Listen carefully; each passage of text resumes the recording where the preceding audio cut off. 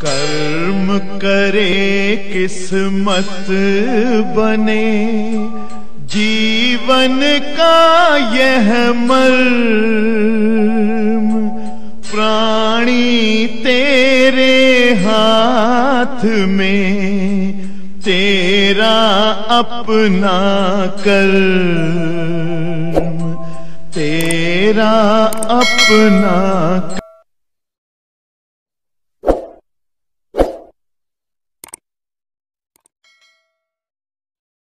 आप लोग छोटी कक्षाओं में नील्स बोर का या बोर बरी इलेक्ट्रॉन वितरण संबंधी नियम पढ़े होंगे कि बोर और बरी ने मिल करके इलेक्ट्रॉन को अलग अलग कक्षाओं में डिस्ट्रीब्यूट किया। तो कैसे किया? सुन लीजिए जरा। सबसे पहले तो बोर बरी का इलेक्ट्रॉन वितरण संबंधी योजना में यह बताया गया कि इलेक्ट्रॉन कक्षा में नहीं, बल्कि कक्षाओं में चक्कर करते हैं। जिन्हें पहली कक्षा, दूसरी कक्षा, तीसरी कक्षा, चौथी कक्षा, पांचवी कक्षा, या के कोष यल कोष एफ़ कोष यल कोष या प्रथम ऊर्जा स्तर, द्वितीय ऊर्जा स्तर, तृतीय ऊर्जा स्तर, चतुर्थ ऊर्जा स्तर कहा जाता है। माने इलेक्ट्रॉन कक्षा में नहीं चक्कर करते, कक्षाओं में चक्कर करते हैं कक्षाओं को। के कोष यल कोष एफ़ कोष यल कोष या पहली, दूसरी, तीसरी, चौथी कक्षा, या प्रथम, द्वितीय, तृतीय, चतुर्थ ऊर्जा स्तर या जो है, सेल कहते हैं के cell L cell M cell L cell ऐसे और प्रत्येक कक्षा में चक्कर करते हुए इलेक्ट्रॉन की एक निश्चित संख्या होती है। हर कक्षा में निश्चित संख्या में इलेक्ट्रॉन चक्कर करते हैं।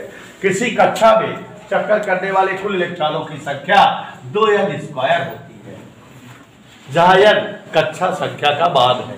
अगर यल बराबर एक रख दे तो पहली कक्षा में चक्कर करने वाले इलेक्ट्रॉनों की संख्या पता लग जाएगी। दो गुणे एक का स्क्वायर माने दो। यल बराबर दो रख दे तो दूसरी कक्षा में चक्कर करने वाले इलेक्ट्रॉनों की संख्या पता लग जाएगी आठ।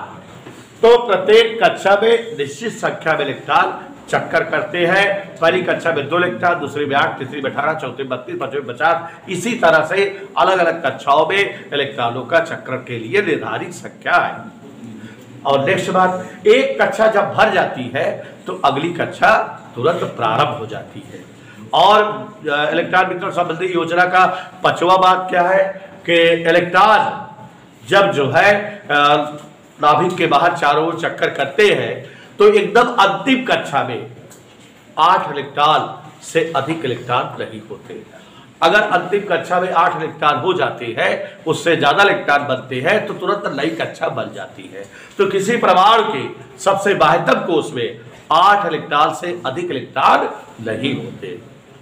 और लास्ट बात है कि किसी परमाणु के सबसे बाह्यतम कक्षा के पहले वाली कक्षा में 18 इलेक्ट्रॉन से अधिक इलेक्ट्रॉन नहीं होते। यदि सबसे बाह्यतम कक्षा के पहले वाली कक्षा में 18 से ज़्यादा इलेक्ट्रॉन बनते हैं तो नई कक्षा बन जाती है। तो ये काल का बोल भरी वितरण संबंधित योजना है। आगे की क्लास हम लोग कल पढ़ेंगे।